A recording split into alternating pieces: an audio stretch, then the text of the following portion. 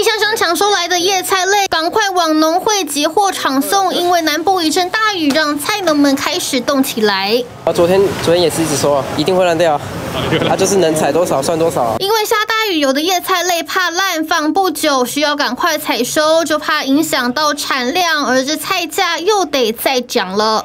顶顶礼拜上介俗的时阵，在台北中价一公斤菜头要伫个十块、十一块左右呢。即阵雨落了，有感觉即卖有起起来伫个十二块、十三块左右。感觉讲即阵雨应该对咱农业的帮助是足大。南部迎来首波大雨，农地得到解渴了。但如果这雨又再下下来，农民跟菜贩们可就抓雷蛋。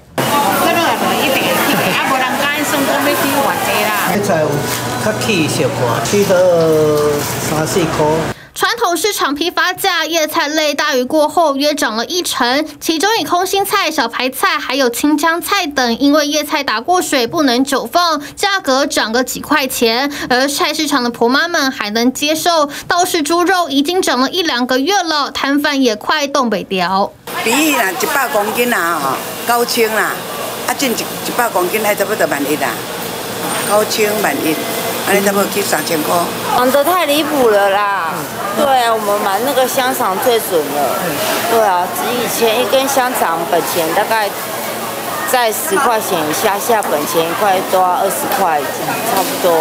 猪肉价格高涨，民众减少购买量，猪肉摊生意差。但还好，最近端午节要到了，生意稍微好转。但原物料持续上涨，就怕大雨又来搅局，冲击蔬果产量，到时连瓜果蔬菜跟着调涨，就实在吃不消了。TBS 新闻，爱豆闲务中心刘璇高雄报道。